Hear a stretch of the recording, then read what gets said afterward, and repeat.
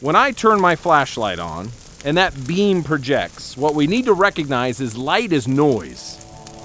So you can be all quiet and stealthy and you can get from point A to point B without anybody really knowing you're there, and then you turn your light on, and what happens is light is noise. We can see that for miles, right? It's like headlights coming down the road.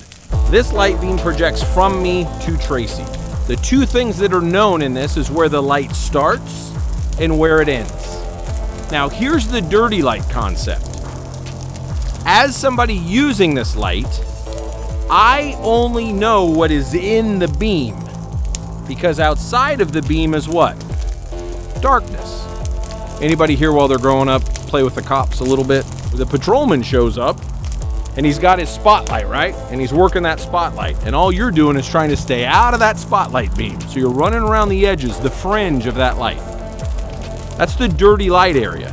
The problem with that in a tactical environment, that dirty light gives that third person whole view set of what is going on.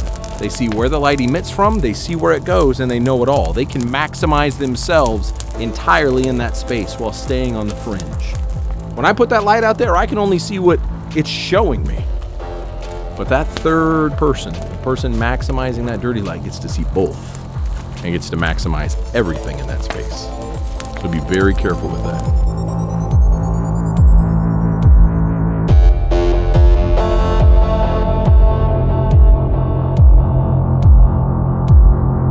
Here's the deal. Don't get in a flashlight war when you're in a gunfight. One of the things that we see is we'll put our front sight on our target and then we'll, our, our flashlight will be over here, right on the left. Like, shit, my flashlight's not on the target. So we go like this. We put our flashlight on the target. Then my front sight's up here by the trees. Like, damn it. so we come back here like this. And you get into this dueling banjos between the flashlight beam and the front sight on the target. What's more important between the two? Well, if we're shooting, it's our front sight on our threat. But we also need our light to be able to verify that, yes, we've already made the decision to go to guns. We're putting our light on to validate that decision. Does that make sense? Just recognize that you will find yourselves tonight doing that. Your front sight will have been on the target, and six seconds later, you're still fucking around with your light over here when you could have taken the shot. So in hands together techniques, we have flat of the back. Jason, can you come up here and please illuminate my hands?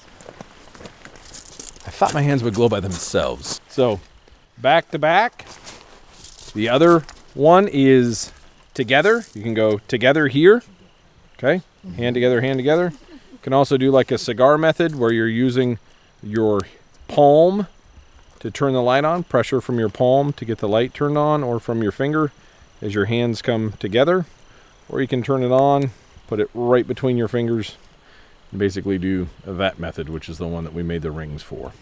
Hands apart techniques are most simply the neck index technique. Basically takes your flashlight and slaves it to your head, much like a gunner's turret on a helo. Okay, so everywhere your head goes, your light goes. You can draw your gun out and then lift your light up and be able to see what's going on. I like that one. It's pretty good because that's also a retention technique where I can strike with if I have to hit with my pistol and I'm going to follow it up with another strike. So we have a neck index technique and then a modified FBI technique. Years ago, the FBI came up with the idea that when they draw their pistol out, they're going to put their flashlight all the way out here to the side because people tend to shoot at the muzzle flash. That's what they said. So what they wanted was to, and they also thought people would shoot at the flashlight. So if your flashlight's right in front of your body and people are shooting at that, then you're going to get shot. Most shooters are right-handed or left-handed? Right. Right-handed. And most people slap the trigger. Where does that round go on a right-handed shooter when you slap the trigger? Left. Low left. So if you're shooting at this light, Wade, that round would go where? Probably. Probably into my body. Yeah. So I mean, it's like a it's like a lose lose. Not only do I not get to use my light very well, now I just got fucked uh, by getting shot by a guy that doesn't even know what he's doing. So there's a there's a new way called a modified FBI that is the same principle, which is get the light away from your body, but move it around a bit. Maybe bring it into a neck index, maybe bring it up high, bring it down low. You know, just utilize it so the light is constantly moving. Does that make sense? Where does your light go when you need to reload? And your mouth is not an answer that's acceptable. Or that one, Tracy. Stop it. It It's a family show. Well, first of all, yeah, you want to turn it off because we're not opening a movie premiere, right? So we don't need to do this. Okay, come to me. Basically, treat your light like we do when we're doing a reload and you have that magazine in your hand. My gun is here and my light is out.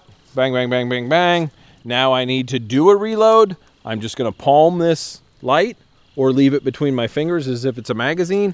Mag comes out, new mag goes in, light still in my hand, and I'm ready to work it. There are schools of thought that we want to stow this light maybe up underneath our armpit. Uh, you want to stick it in a pocket or a jacket or stick it in the crook of your neck. And, uh, th- those are options, but they're not effective options and they're not efficient options when we're already still fighting. So just roll that thing either between your fingers or hold it, index it like we do a magazine. Switch out your new mag, let the old mag go, and maintain control of your light. Does that make sense? Let's not make more of this than it needs to be.